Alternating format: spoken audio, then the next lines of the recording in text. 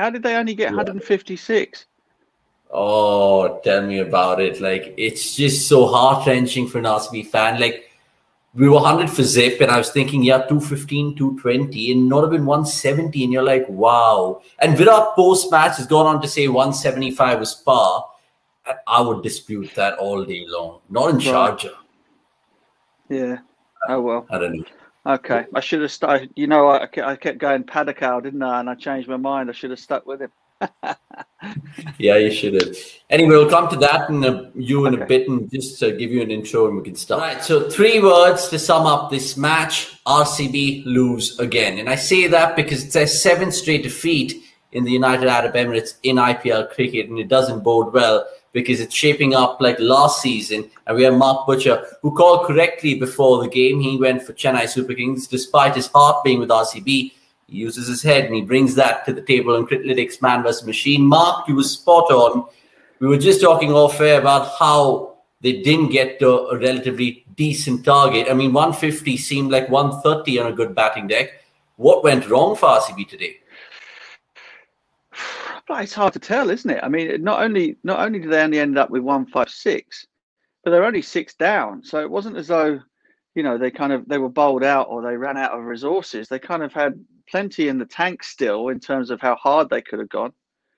Um, you know, Padikkal makes 70 from 50 balls at the, at the, top of the order, and you only get just over half more than that. It just it seems bizarre, really. Um, and I can't I can't put my finger on it um, as to as to why that was the case.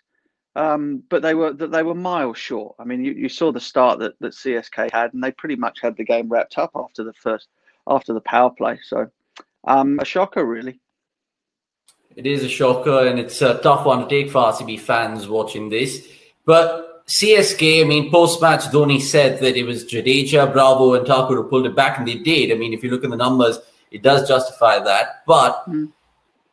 Kohli Padikkal, 111 for no loss. If you have to really choose a fantasy T20 team, you choose Maxwell, De Villiers, Tim David, Hasaranga to really take you to 220 and beyond. It wasn't the case. So was it just poor batting or was it like what Dhoni said, good bowling. Well, I mean, those guys are are specialists at what they do, aren't they? I mean, Bravo's figures in the end are one one for twenty four um, at Sharjah. Uh, you'd bank that every single time to only go at uh, six runs and over. Um, yeah, three for twenty four actually. Yeah, sorry, three for twenty-four. So yeah, silly. Three for twenty-four. I mean, that's just those are staggeringly good figures. Um, you know, and again, once again, sort of like the old dogs are, are proving that that um, as much as youthful zeal, um, know-how, and nous are kind of the the keys. At least they are for CSK anyway. So um, look, it's bizarre. They, they'll be absolutely kicking themselves. Uh, but I, like I said yesterday, um, my feeling was that I just, you know, it feels like the force is with um, Chennai at the moment, and the RCB are kind of sliding back into their bad old ways again. Yeah, and let's see how that really pans out for them because, like I said, it's shaping up like last season. They don't want to go down that route. Um, they, of course, play Mumbai on Sunday, and that is a tough one because Mumbai need the points themselves. Then they play Punjab, who uh, possibly will need the points themselves. So this comes down to do or die cricket again RCB. And invariably, when we've seen them in pressure situations, at least in the last three, four years, they tend to choke. Yeah, um, it's it's not good. I mean, put it this way: that they don't like playing in the UAE, do they? I mean, as much as as much as they've never won one at home in India, um, their, their record in, in the UAE is, is is is pretty poor. So, and then you start off with with teams like um, KKR, Chennai, and then Mumbai as your first three games back after you know a terrific first half of the campaign um, and you start to worry a little bit. Um, it would have been nice if they could have started off with Sunrisers and Punjab, but that's that's not the way it is. And if you're going to be a champion side, you've got to kind of come out and and, and jump over these obstacles. Um, I hope they can get it back together, uh, but the signs aren't looking particularly good after today. Yeah, you've got to beat what's in front of you, and RCB have a tough task ahead right now. Chennai, well, they're plain sailing because this win, of course, elevates them to the top of the pops and 14 points, of course and momentarily because DC, of course, play in the afternoon on Saturday. So we'll see how that unfolds. But it goes back to the question that I was asking you before. What is wrong with this RCB team? We'll come to your predictions right now because there's so many people right now infuriated with Virat Kohli, maybe AB de Villiers, and Glenn Maxwell. Do you think those three should be taking the blame, or is it just the team holistically should probably be, you know what, it's our fault? Yeah, look, I, of course, when you you win as a team, you lose as a team, of course.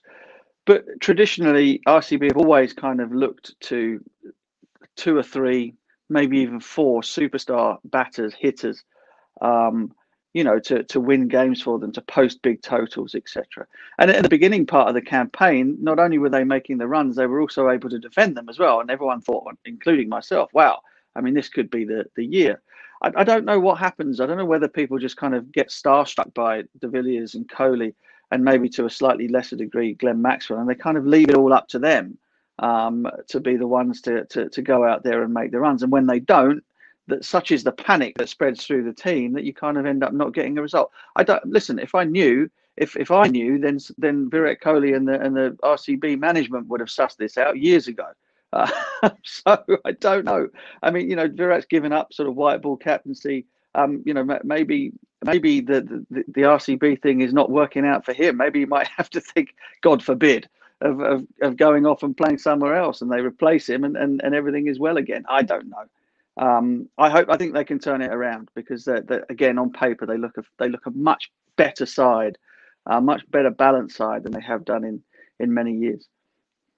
Yeah, and if there was ever a reason for Virat to quit captaincy, it could just be the toss because he ended up losing one more again. He's not just had the rub of the green in that regard. Let's see how you turned out in terms of the predictions because, like you said, Padikkal is a man that you chose and then you aborted that choice and you went for AB de Villiers. It wasn't a B. But let me just play devil's advocate here. I know Padikkal went on to get 70 or 50 balls. Is that too slow for an opener in the toughest T20? Because at the end of the day, we're talking a huge chunk of the innings just for 70 runs. Yeah, potentially. Potentially. I mean, you know, uh, Virat himself, what was he, 53 from 41? So neither of them yeah. were flying. Um, so, I mean, I don't know. I, I, I, would, I would, I would stop short of laying the blame at a, a young man's door who's only just sort of making his way in it. That's for sure. Uh, bowlers, because it wasn't their day, but perhaps for the CSK guys, they could turn back the clock and say, you know what, we have Bravo in the house and he was bowling those perfect Yorkers in this format. Is that a great sign for them going ahead? Because he got a little bit of form in the CPL and then he's come well oiled into this IPL, so to speak.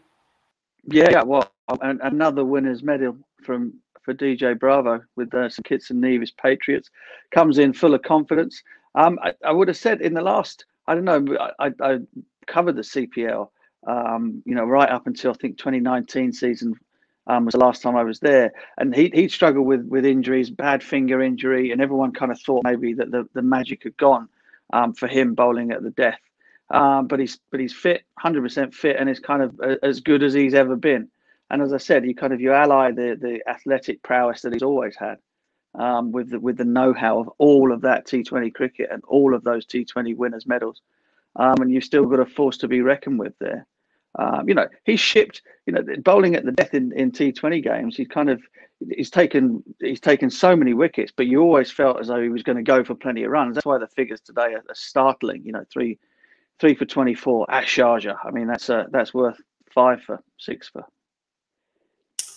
Yeah, and unfortunately, no one called Bravo in terms of critics or you, Butch. But in terms of predictions, it was 1 1 in the end because both of you guys got CSK right. So there's nothing to split in terms of this winner uh, and, and, this contest, I should say. Uh, finally, just before we wrap up this one, it's a stat of the day, and this one's a real puzzling one.